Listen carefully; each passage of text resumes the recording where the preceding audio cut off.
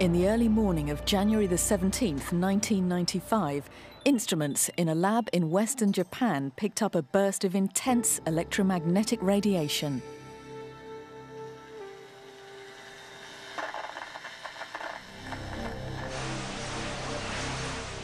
It was the signature of a massive earthquake which had just struck the city of Kobe from its epicenter 20 kilometers to the southwest.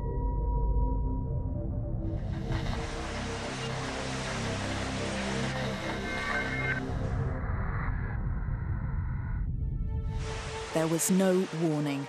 180,000 buildings were destroyed.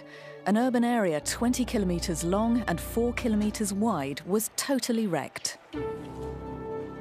Nothing moved in or out of Kobe by road or by rail for three days. The root of the disaster was a shock that happened on the boundary between the Eurasian and the Philippine plate, a boundary that runs right beneath the city. There is a direct relationship between plate margins and earthquakes throughout the world. Japan is very vulnerable to earthquakes because of the country's special physical geography.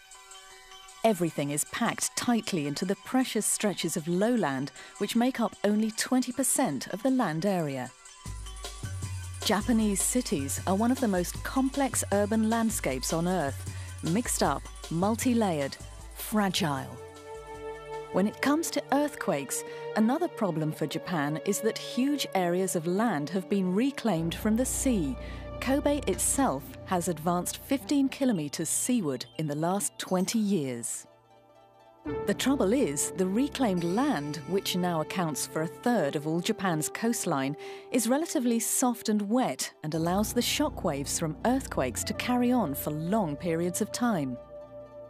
During the Kobe earthquake, at locations on solid rock, the shaking lasted 20 seconds. On the reclaimed land, it went on for two or even three minutes. As its human landscape becomes more and more complex, Japan becomes more and more vulnerable to earthquakes. The country has spent a fortune studying them, but until now, no way of predicting when they will occur has been discovered.